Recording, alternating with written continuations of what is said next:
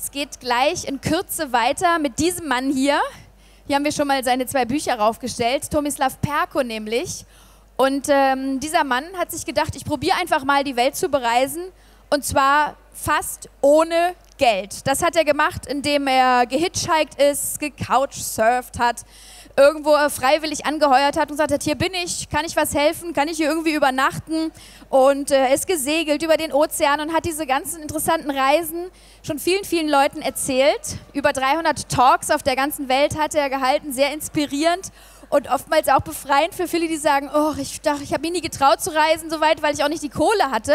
Aber ähm, vielleicht für den einen oder anderen Inspiration. Ja, wie gesagt, er hat hier zwei Bücher und das ist seine letzte Runde, wenn man so will, denn er hat schon so viele Vorträge gehalten, aber beim Berlin Travel Festival für euch hat er sich gedacht, da komme ich auf jeden Fall nochmal vorbei und wir freuen uns sehr, dass er heute hier ist und uns von seinen Reisen erzählen wird. Er kommt eigentlich aus Zagreb, da ist er zu Hause und bald wird er da seine eigene Bar aufmachen. Da können wir ja später nochmal drüber quatschen. Aber jetzt freuen wir uns erstmal auf How to Travel the World with Almost No Money.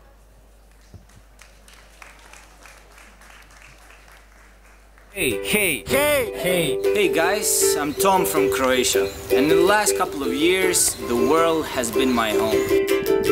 I travel, I hitchhike, cars, trucks, horses, motorcycles, boats. I drove in buses, trains, rickshaws. I worked odd jobs. I spent time with locals. I volunteered. I became a monk. Just kidding. I sailed across the Indian Ocean. I tried things that I never tried before. I've seen things that I will remember as long as I live. And all that with almost no money.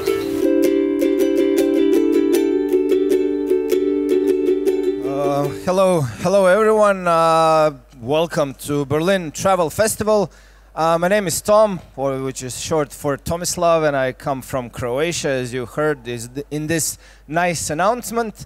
Um, today I will be talking about how to travel the world with almost no money.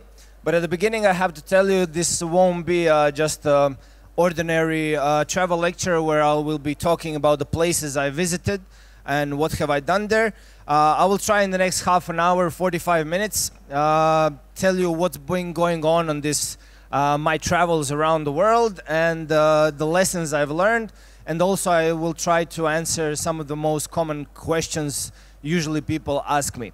Um, there will be some time at the end for uh, Q&A, so if you will have any questions, uh, uh, write them down or something, and then we can talk afterwards. I also brought some of my books with me, just a couple of them, so later we can talk about that as well. Uh, my story starts uh, around 10 years ago, actually exactly 10 years ago, when I lived a pretty different lifestyle. Uh, I was a stockbroker. Uh, this is not my photo, this is some other guy, uh, but we pretty much had the same lifestyle. Uh, I was working in a stockbroker office, and uh, I was one of the most successful young stockbrokers in Croatia, earning a lot of money, going out to nice places, dressing nicely, not like this today. And uh, I, I had a pretty nice lifestyle. And then 2009 came 2008, actually, uh, the financial crash. Um, and in just a matter of weeks, I lost pretty much everything I've got.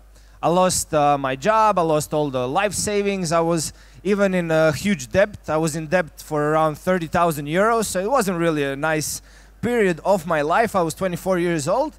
Um, and then, with a uh, few accidents in my life, uh, my life changed when I started thinking about traveling as a thing that I want to do next. Um, why I came up to that idea, I have no, I, I don't know, but uh, it probably has a lot to do with discovery of this website. So you probably all heard about it. It's called Couchsurfing. Um, if you don't know what Couchsurfing is, it's a network that allows you to host people in your own homes or to stay at other people's couches when you're traveling uh, when you're traveling abroad. Um, and I went crazy about Couchsurfing, and in uh, one or two years, I hosted more than 150 people from all around the world. Uh, and just talking with them and seeing this spark in their eyes, I made a decision that I want to travel. Um, I also knew that, I, that there is no chance for me to travel because I was broke. But then these people came up to me and uh, they educated me about how to travel the world with almost no money. They told me about these alternative ways of traveling and they showed me that it's not only it's possible to travel with almost no money, but it's for them even cheaper to travel than to live in their own city. So I was like, seriously, show me the way, right? Uh, and they told me about uh, all of the things that I will use in the in the future. Um, first thing, uh, first step was the critical one. Uh, a lot of times people ask me what's the most difficult thing on your journeys, and I always tell them to make that first step. Because I was afraid, uh, I had no money, I had nobody uh, else to go with me on my on my first travels. Um, but after you do that first step, everything else is pretty easy. My first travel was uh, actually to Amsterdam. Uh, back in the days, I was a huge uh, Dinamo Zagreb supporter. I was watching football still, and uh, Dinamo was playing against Ajax in Amsterdam. And me and a couple of my friends were like, "Yeah, let's go to Amsterdam. We've never been to Amsterdam, and you know, we'll go there and see uh, museums and stuff. What you do usually in Amsterdam." But unfortunately, all of my friends canceled in the last minute. Some of them had uh, no money, some of them had to study for their exam. One of them, like his girlfriend, didn't allow him to go. So uh, I, was, I was left by myself in front of a decision should I go by myself or should I stay at home?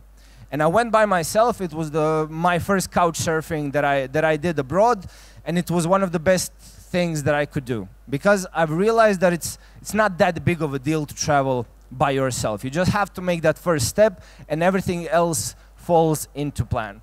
Uh, so um, you, I told you that uh, I was uh, learning about these alternative ways of traveling. A few, a few things were the most important to me, apart from couch surfing. So couch surfing was one way that I could handle my accommodation costs and cut them to, to really minimum. Uh, but also I was uh, hitchhiking as well. Uh, after the uh, first couple of travels around Croatia, Balkan, and, uh, and Europe, I embarked on my uh, biggest trip ever, which was my round the world trip called 1000 Days of Summer. Uh, because it lasted 1,000 days, and I wanted to travel all around the world where, where it's summer. So I got the um, the idea for the title from that movie. Maybe you saw it 500 Days of Summer, but I was like, 500 days is not that much, so let's do it double, right? Uh, so you can see my route. I started from Croatia towards east. I went through Asia, Australia, Indian Ocean, Africa, and ended up in, in South America. Uh, now I will tell you a couple of uh, stories from this round the world trip. Uh, one of them is uh, concerning uh, hitchhiking in Iran.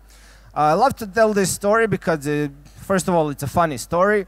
Um, and you have to know that hitchhiking, apart from couch surfing, was my main thing to do on my around the world trip and all of my other trips as well because I had I didn't have to pay for uh, accommodation or I, I didn't have to pay for transportation. Uh, but in some countries, hitchhiking is not as easy as it usually is. I've hitchhiked a lot uh, in Germany, and it's pretty easy, you know, in the uh, on the highways and stuff, on the Tankstelle, how you call it uh, fahren Sie nach Berlin. Uh, I remember saying that sentence quite a few times. Um, actually, Berlin, this has nothing to do with this presentation, but Berlin was actually one of the biggest faults for me that I went on this trip. Because when I started traveling around Europe, I actually came to Berlin. That was back in 2009. Uh, because I met this girl who was couch surfing with me, and I came to Berlin to like be with her. And then she kind of like dumped me so i continued traveling. So if, it, if i wasn't dumped in berlin i would probably never travel around the world. So thank you berlin. Thank you very much. Uh, so yeah back to hitchhiking in iran. Uh, in iran you cannot really hitchhike like you normally do in europe because this in iran means this right so you didn't i didn't really want to go around uh, iran and like hey hello guys who were passing by so i found the guy who wrote this sign uh, for tehran uh, I mean, I, I, hoped it was signed for Tehran. I had no idea, was it? Uh, but it turned out that it was, and I was staying on this roundabout, waiting for cars to stop. And after a couple of seconds, like one guy came up to me, and he's like, Tehran. I was like, yeah. He's like, come with me. I was like, this is some sort of world record, you know. I'm like, in just a couple of seconds, I found the ride, and I grabbed my backpack and went after this guy, and he brought me to a bus station. He was like, "Bus, Tehran, goodbye." I was like, "Seriously, man." Uh, so I was like, "Yo, thank you very much, but I'll go back and try to hitchhike." You know, I don't really have money to go to 1,000 kilometer distant Tehran, so I went back to the spot and I continued hitchhiking, and another guy stopped, and he's like, uh, "Tehran." I was like, "Yeah." come with me. I was like, bus station? No bus, no bus. And I was coming to him and we came to a taxi station. He was like, taxi, Tehran, goodbye. I was like, come on, man, seriously, this is even more expensive than, than the bus. So I went back and the third guy was actually the best. His English was really good. And he came up to me and he said, I'm not sure where you are from, but you don't have to hold the signs like this. We have the signs over there, you know, so we know where Tehran is. I was like, seriously? So I just took my backpack and went to the bus station and just took the bus to Tehran. And I realized it wasn't really that expensive because the petrol costs in Iran were really, really cheap. Uh, so it took me like maybe for 1,000 kilometers around 10 or 15 euros. So that was pretty good bargain. Um, another things when, another thing when it comes to hitchhiking, a lot of people ask me uh, how safe it is to hitchhike, right? Like how many times have you been murdered and stuff like that. So I always tell them not not as much. Uh, but and I always try to tell this story when I, when I was starting this round the world trip and starting from Croatia, going towards east, everybody in Croatia was really warning me, you know, like, Tom, be careful. You know, you're going to hitchhike, you're going to sleep in some random places, you know, like, you've been traveling around Europe and Croatia, that's okay. Croatians are cool people, you know, of course. But as soon as you cross the border, going to Serbia, you know what Serbians are like, right? You know, very dangerous people. Somebody might kill you. I was like, okay, thanks for the warning. And when I went to Serbia, it was amazing. You know, everybody was just welcoming me, hosting me in their homes, taking me with their cars, going out with them, drinking, and so on. And I was driving towards Bulgaria, and uh, I was driving with one truck driver, and I was telling him how Croatians were warning me about Serbians, and he told me like brother you know like don't be silly you know like croatians and serbians we are we are brothers you know don't nobody will touch you in serbia. But bulgarians oh my god now you're going to bulgaria well, as soon as you cross the border be very careful somebody might kill you.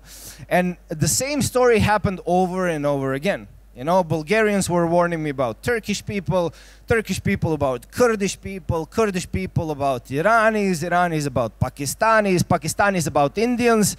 Indians didn't warn me about anybody. It's like the last frontier or something. Like they warned me about other Indians.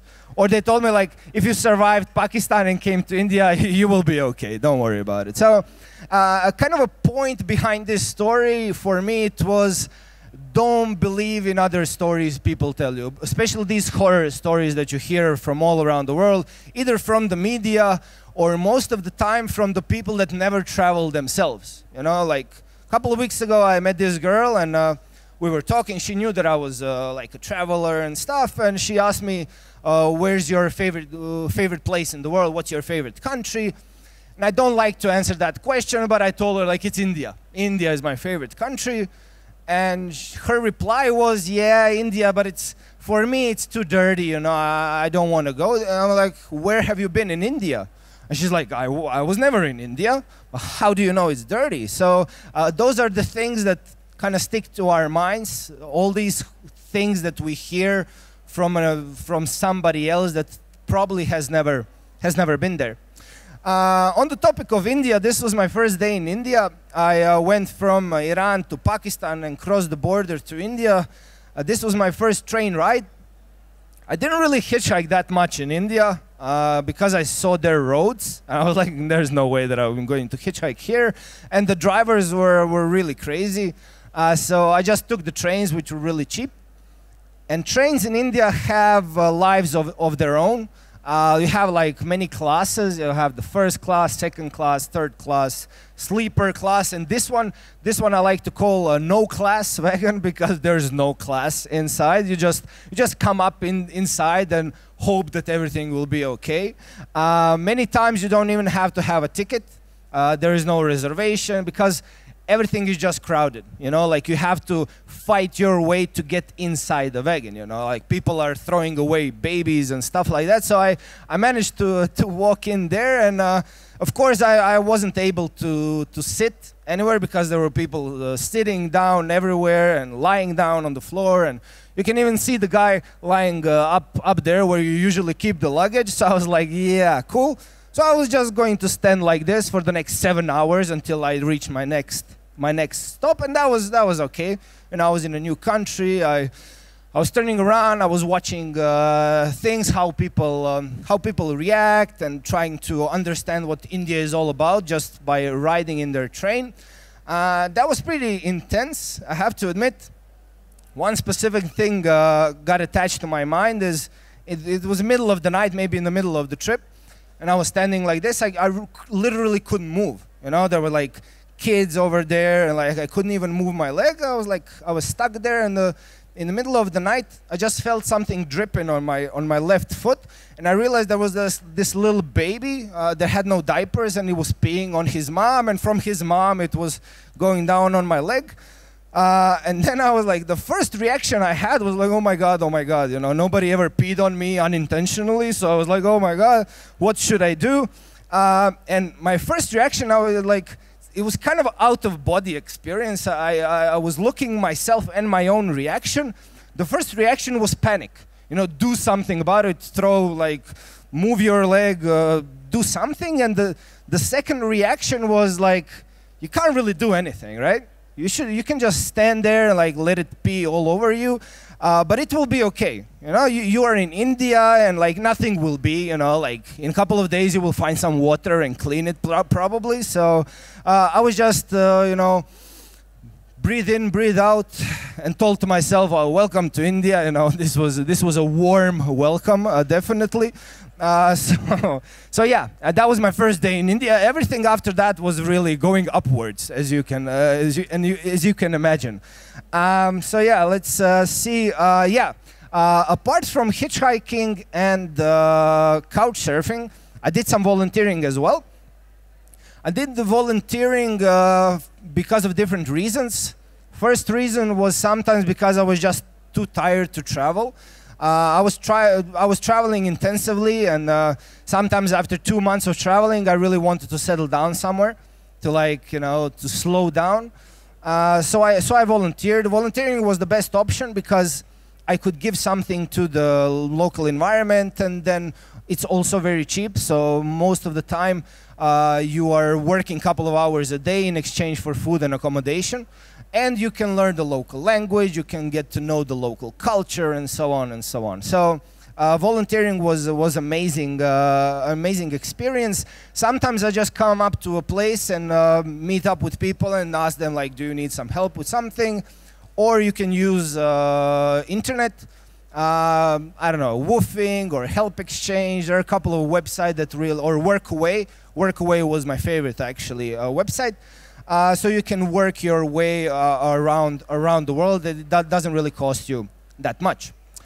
Um, sometimes I even worked uh, for cash, right, to get some money. My daily budget, uh, I didn't mention that at the beginning, but my daily budget when I was traveling it was really low. It was between five and ten euros a day, and that was including everything from transportation, accommodation, visas, food and so on. But even uh, with that low budget, I, I, still needed money. You know, I, like I wasn't traveling completely completely broke. And when I came to Australia, I was like, I can earn a lot of money uh, by working here. The problem was that I had no uh, working visa, being Croatian and all. Uh, we didn't really have a working uh, work and travel program. And now we do for New Zealand, but that's another story. Uh, so yeah, I was uh, I was just walking around Australia or traveling around Australia looking for work, and after one month of staying in Australia, I was I was picked up by a guy close to Brisbane, and uh, after a couple of minutes we became best friends. You know, he was uh, he was driving me maybe 10 kilometers, and I told him I was looking for a job, and he's like, "What do you do?" I was like, "Oh, whatever it needs to be done."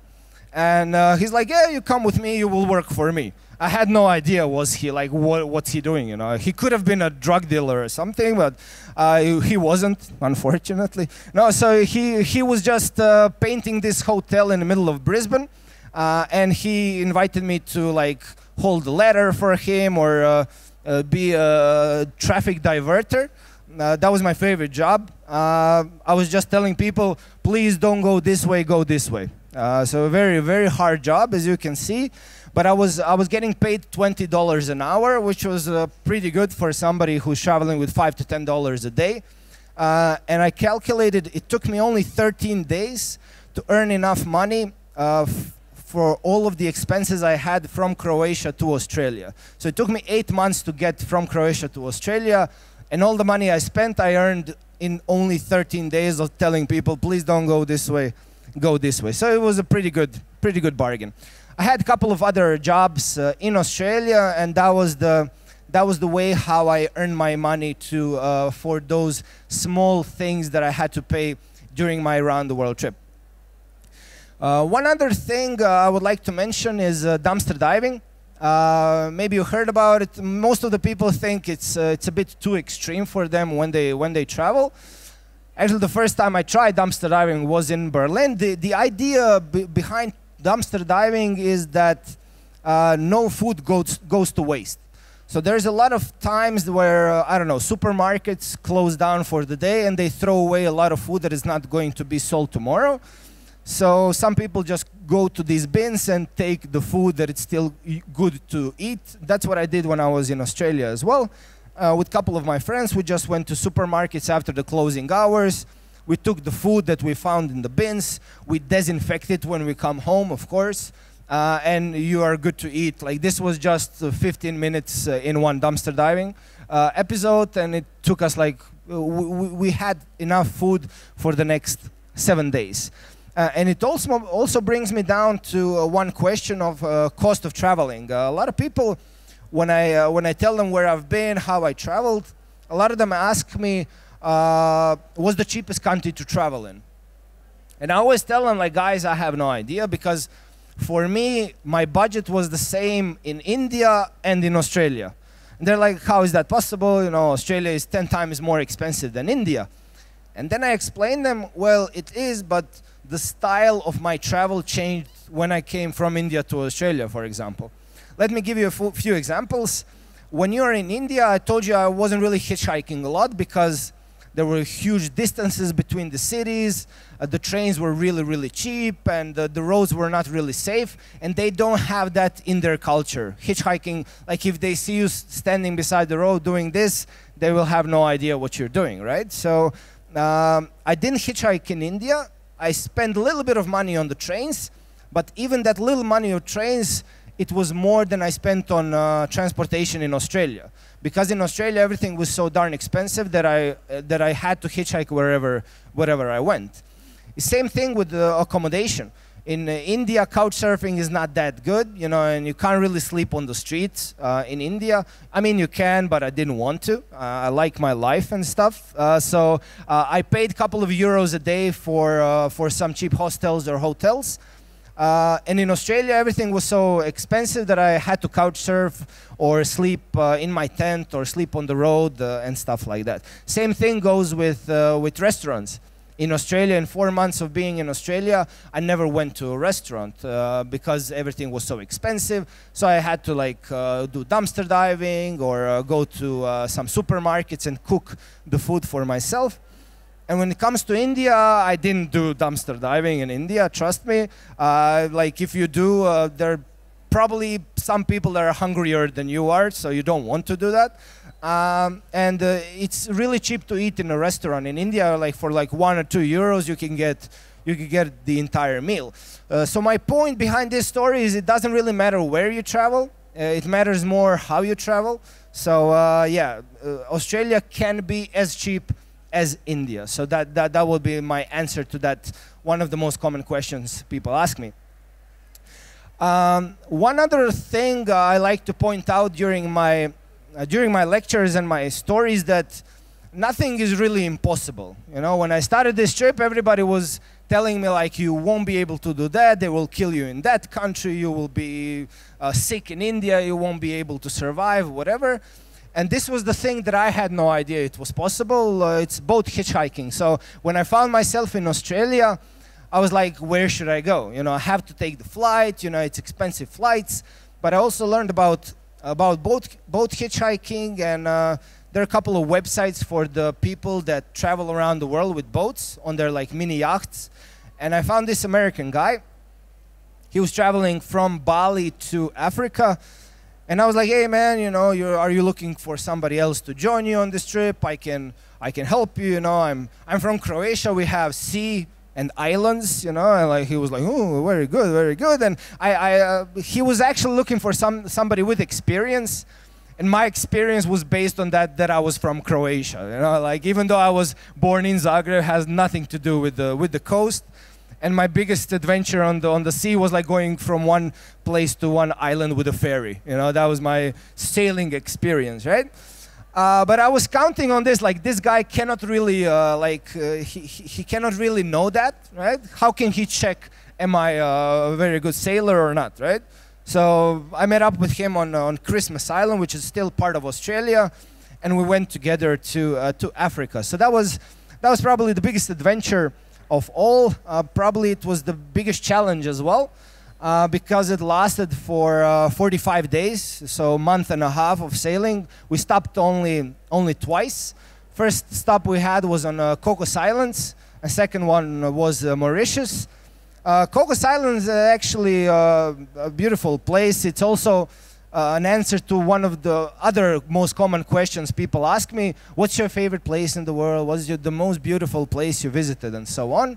And i always tell them this place because it really really is beautiful you know? But what i want to point out uh, when i when i talk about the most beautiful places is it doesn't really matter you know? Because the beauty of the place is just one aspect of the of the loveliness of a certain place that you visit how you love a certain place and how you feel about a certain place, it, it, doesn't really have to do a lot with the beauty of its place. It has to do with the people you meet there. It has to do with the uh, culture you experience there, the food that you eat there. Uh, what was the weather like? Uh, were you sick or not? Were you in love maybe in that place or not? So uh, there are many different things that define the beauty of a certain place so uh, when you think about your next destination or where you want to travel, don't think about only the beauty, beauty of a certain of a certain place.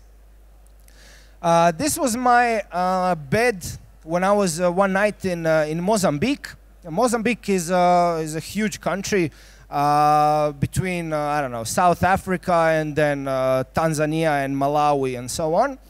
And when I was traveling through Mozambique uh, I had to I had to stay in places like this because I couldn't really find any hotels or couch surfings were really really rare, and most of the couch surfers were just Americans or some expats that were uh, working there. So uh, I came to this place. It was uh, it was nighttime. It was raining, and um, I wanted to sleep. So I uh, so I found this uh, found this truck, and I was like just wanted to go underneath it because it was raining, of course. But there was a lot of people on the streets, right? I, I really did, didn't feel comfortable. It was pitch black. I was uh, I was the only white guy, so I was like kind of glowing in the dark, you know, uh, walking down the streets of this city, and a lot of them were like drinking beer, and uh, I was I was afraid, of course. And uh, when I found this place, right next to it there was a police station, so I was like, this is good, you know, probably nobody will touch me if there is a police officer standing next by. So I went to the guard in front of the police station and I couldn't speak Portuguese or their local dialect, whatever. So I just come up to him and like, hello. And he was like, he was scared of me at first, like, where did you come from? And I told him like, I'm going to sleep there because it's raining. You please check that these people don't kill me, right? So he was like, yeah, sure, whatever. Uh, so, I, so I managed to spend the night there, and um, tomorrow I moved, moved forward. But this story, I also tell it because a lot of people, when they hear my story, they, they, they look up to me and they say, Tom, you are such a brave guy. You know, like I admire you. I could never do what you did. And then I, I was thinking about it. Am I really brave? Is this some courage that I was born with? Was this the reason that I traveled around the world like this? And then I realized that people think Tom is a brave guy, and that's why he travels. But when I thought about it, I realized it was the opposite. I traveled first, and then I kind of became brave or something. I'm not sure brave is, the right word for that. Because a lot of people think being brave is something that you are born with. But for me, being brave is not not being afraid you know? Like you're you're going towards something and you you couldn't care less about it and then you're brave right? For me courage is the, the the point in time where you are really really afraid of something but at the end you still do it. That's courage for me. So during my travels i was afraid pretty much every day you know? Like you, you encounter some weird places some weird people many many times. You drive with some people that shouldn't be re- shouldn't really be allowed to have driver's license and stuff like that. Uh, but this was uh, my point of, of saying this is uh, don't be afraid of the fact that you are afraid of things, right? Because many times where you just go through your fears and just do the things that you think they're impossible to do, then at the end you realize it wasn't that big of a problem. Um, and one of the last stories, maybe the last story I will tell you today, is the story of my favorite moment of my travels uh, was when after uh, more than half of my trip, uh, my father came to visit me when I was, when I was in Kenya.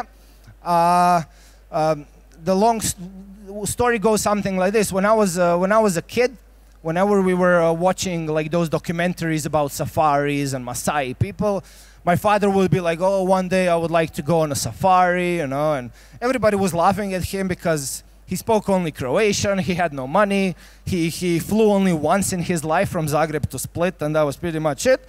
But when I came to Africa, I realized this story. Uh, I, I remember this story, and I called up my dad on Skype, and I told him, like, Dad, like now it's your chance. If you want to come to Africa, I will wait for you. I will be your guide. I will, I will even pay for your plane ticket to get here. I earned some money in Australia and so on. And my dad was like, sure, son, wait for me there. So one day he, got, he just came to, uh, came to Kenya. Uh, my dad is here on the left side. Uh, so it's, uh, it was a really cool, uh, it was a really cool uh, moment. three weeks we spent together. We even hitchhiked once.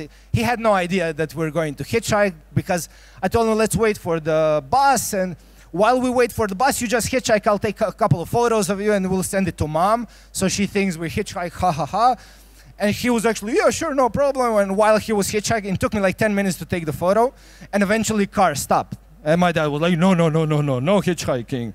No hitchhiking. But eventually, we went into the car because I told him there were no buses in, in Africa. So, yeah, he was like, okay. Um, so this was a very important uh, thing for me because we bonded in those three weeks more than we bonded in uh, like my, my entire lifetime. But uh, the story I would like to point out here is a, different story. My father unfortunately passed away around two and a half years ago, and uh, I love to tell this story uh, because of the lack of time that we people are not really sure uh, we have. Um, and I want to tell, tell you a little story about deadlines as well, because people are we, we are weird creatures. You know, when we have deadlines, when we have the exam on our university or something, or we have to do something uh, at our work when we know the deadline is approaching, we like run out like, oh, I have to do it now. And then eventually we do it, right, before the deadline. But the thing with the most important things in life is that we don't really have deadlines for the most important things, you know, and then people always keep postponing those things. You know, traveling, I will travel, you know, eventually. Like, I don't have a deadline for traveling, right? I mean, there's only one deadline in life when you're dead, but nobody knows when that's going to happen, right? So when you when you're talking about traveling, when you're talking about I don't know, building a new career, starting a new uh, new job or a new company, or going out to that girl or that guy, you always like. I have time, you know, when the conditions are perfect. I will travel when I when I get more money. I will travel when when my friends will go with me. But try not to do that because uh, with this uh, with this I, I, always remember that deadlines in life uh, tend to surprise you. Fortunately, my dad uh, said yes when I offered him to come to Africa, so he kind of beat that deadline. Until the rest of his life, he was talking about this experience with me in Kenya. So try to try to set your own deadlines when you don't have them, and uh, like yeah, don't po- postpone things in your life. Uh, pretty much the last slide today. What have I learned? Uh, I could talk about this uh, a lot. I've been talking about like 40 minutes already, and I haven't even reached this subject. So I've learned a lot. I even like wrote two books about what have I learned and what have I done on my on my on my travels around Europe and around the world. And uh, I've learned many things. Uh, the, probably one of the most important things was uh, to be grateful, uh, to be grateful for for a lot of things. Like when I'm now back home, I'm really grateful that I have a bed uh, where I can sleep every night, that I have uh, food that I can eat every night, that I have uh, I can go to the doctor when I'm sick. Those are those were the things that I didn't really have all the time when I when I was traveling. Um, uh, you you ha- you have to be grateful for for the earth as well uh, because you see you see a lot of pollution and you see what uh, people have done to the mother earth you know when you're mother nature when you when you travel so you kind of get close to it you get more attached to it uh, I've learned that uh, you shouldn't really trust other people's horror stories. Especially, I told you the story about hitchhiking, uh, but don't trust other people that are trying to scare you and tell you like, "Oh, don't go there because this and this will happen," or "Don't go and uh, don't do something," and so on and so on. So I've learned a, really a lot of things, uh, but the most important ones I, I've been through already in my in my presentation. And at the end, I would just to uh, would just to repeat uh, that uh, don't wait for the perfect moment. You know, don't postpone things. Uh, and I'm not even talking about traveling, guys. Today I am holding a travel lecture because I've, I've been traveling a lot in the last 10 years or so. But traveling is not the best thing in the world. It's not the most important thing in the world, you know? Like if it is for you, great. Then go out and do it. But if you want to do something else, focus on that and do that because traveling can be everything. Traveling can be uh, raising a child or uh, having a family or starting a new business or finishing an education or whatever you want it to be. But the most important thing is when you do something, when you want to do something, just do absolutely everything in your power to get there. Because if I was thinking about things that will go bad on my travels, I would probably never start it. But if I knew, like, I had no idea that I will be one day talking in front of a bunch of people on Berlin Travel Festival or, uh, or doing things that I'm doing right now in my life. So yeah, like that, I would like to uh, uh, point out that also uh, try to forget everything that you've been listening to me today and all the other uh, lectures that you've been here. Because always try to remember that this was my story. It doesn't have to be that you will have the same story. It doesn't have to be that you will enjoy hitchhiking and couch surfing like I did. It doesn't have to be that you will enjoy traveling in a way that I did, that you will enjoy it as well. Just try to remember this fact that pretty much everything is possible. And if you really do everything in your power. So forget everything that you hear, but create your own story. You know, find something that you are really passionate in your life and just pursue it. Because, like that famous quote says, 20 years from now on, you will be more disappointed by the things you didn't do than by the things you did do. Thank you very much, guys.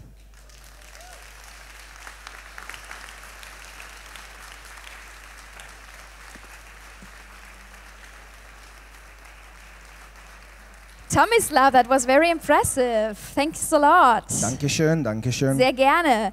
Ja, so genau. you've traveled the world without any money, but A little bit of money. of course there are um, some books. Maybe someone wants to buy them. I only brought like five of each, uh, so uh, I will be just here in front. If somebody wants to buy it, uh, it's like 15 euros each. So if you want, like, I'll be able to drink afterwards. So if not, I'll be, I'll be sober or, or something. Yeah, and if you do like this, it's not like that, no? yeah, We yeah, don't do. Thanks don't a lot. that, Yeah. Nice. So you are opening up your own bar in Zagreb. Yeah, uh, when I was traveling, I really fell in love with um, cocktails and juices and stuff like that because I was volunteering a lot, a lot of times in bars. So in the last one year, I was working along in some uh, street festivals in Zagreb, So I figured out that this is something that I really want to do. And after the book, after the so many talks I've given, I've raised uh, some little bit of money. And um, yeah, in three weeks, I'm opening my own juice and cocktail bar in in the capital. So we'll see how that goes. It's kind of traveling as well, but this time I won't be traveling, but other people will travel to me, and uh, like it's pretty much the same thing. So. And you can mix cocktails as well. Are you a good cocktail mixer? Yeah, I mean, I'm not the best, but uh, depends what you have, you know. Like, Okay. if you have a couple of ingredients, I'll do something for you. So. Very nice. Thanks a lot. You stick around a little bit, like outside with your books. I'll just be at this table for the next 10 minutes. Uh, so if somebody wants to ask me a question, unfortunately, we don't have that yeah, much we're running time. out of time. we have some other interesting, uh, interesting lectures ahead. So yeah, I'll be in front. Tomislav Perko, this is your applause Thank at you the Berlin much. Travel Festival. Thank you.